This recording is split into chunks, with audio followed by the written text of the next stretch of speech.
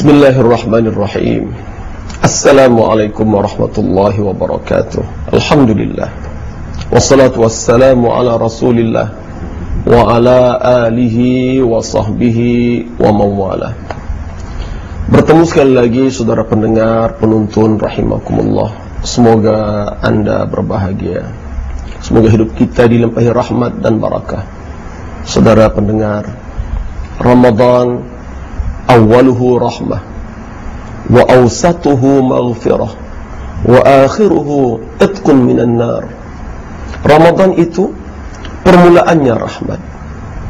Pertengahannya maghfirah, keampunan dan penyudahnya adalah kebebasan dari api neraka Allah Subhanahu. Tiga perkara ini akan kita rebut sepanjang bulan Ramadan. Pertama rahmah. Apakah itu rahmah? Rahmah ialah kasih sayang dari Allah Subhanahu wa taala. Ketahuilah saudara, hidup tanpa kasih sayang Allah tidak akan mencapai kebahagiaan.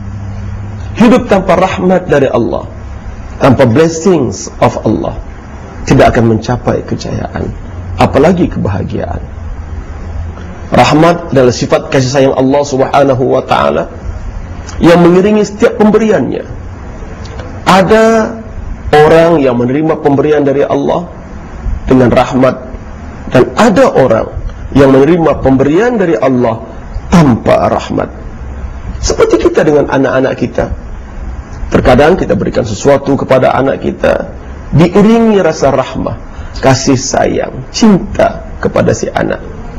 Terkadang ada ayah, ada ibu Yang memberikan sesuatu kepada anaknya Tanpa perasaan kasih dan sayang Hanya kerana kewajipan Wajib bagi seorang ayah Memberikan nafkah kepada anak misalnya Tetapi Pemberian itu tidak diiringi dengan sifat rahmah, sifat kasih sayang. Seorang suami wajib memberikan nafkah kepada istri.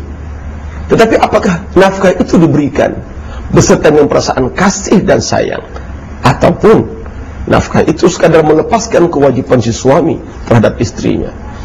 Maka kita ingin agar Allah subhanahu wa ta'ala menurniakan kita sesuatu diiringi dengan sifat rahmat daripada Allah Subhanahu dan itulah yang memberikan kebahagiaan, kesenangan, keselesaan, kelapangan untuk kita.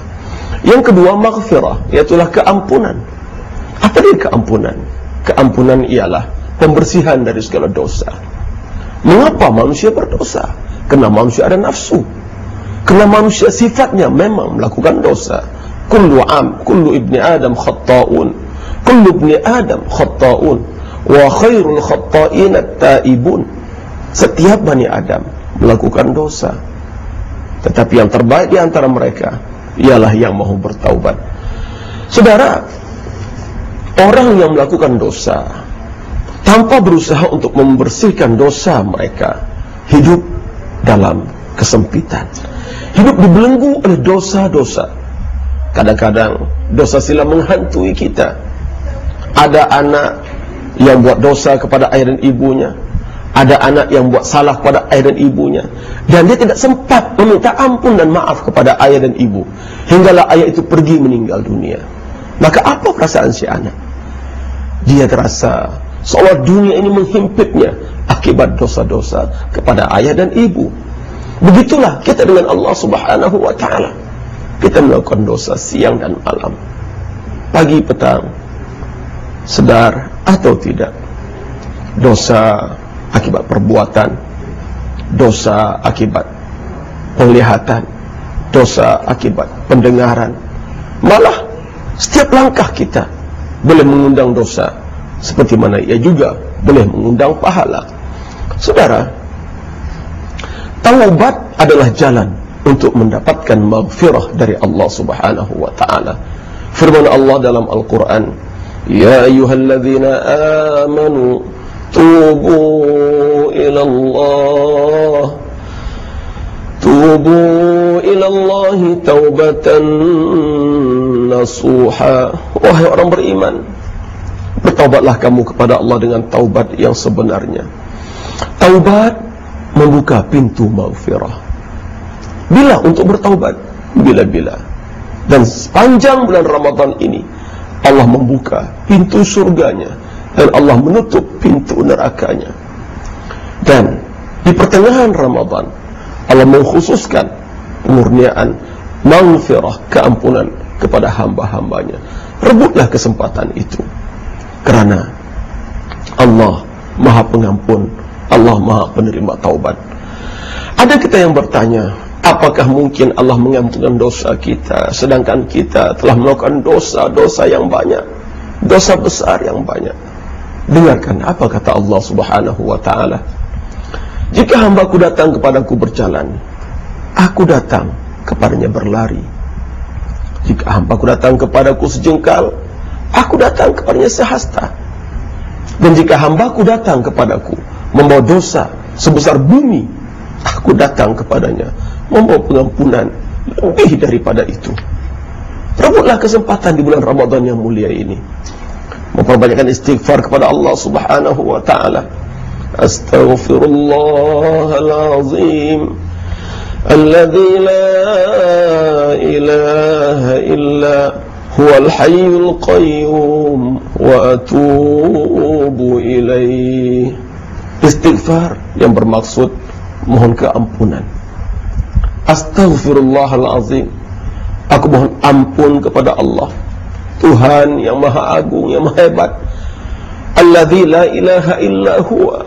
Tiada Tuhan ku sembah selain dia.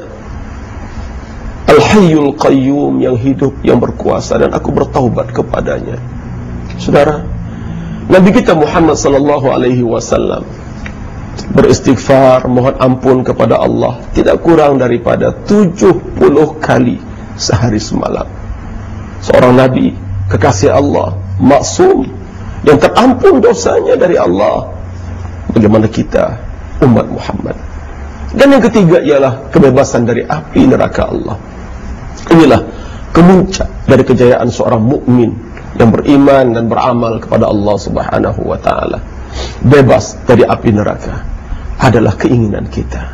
Ya Allah padamlah nama kami daripada senarai ahli neraka dan masukkanlah kami dalam surgamu. Semoga Ramadan membersihkan dosa-dosa kita. Semoga Ramadan mengundang rahmat Allah Subhanahu dan semoga Ramadan membebaskan kita dari api neraka Allah Subhanahu. Bertemu lagi insya-Allah. Assalamualaikum warahmatullahi wabarakatuh.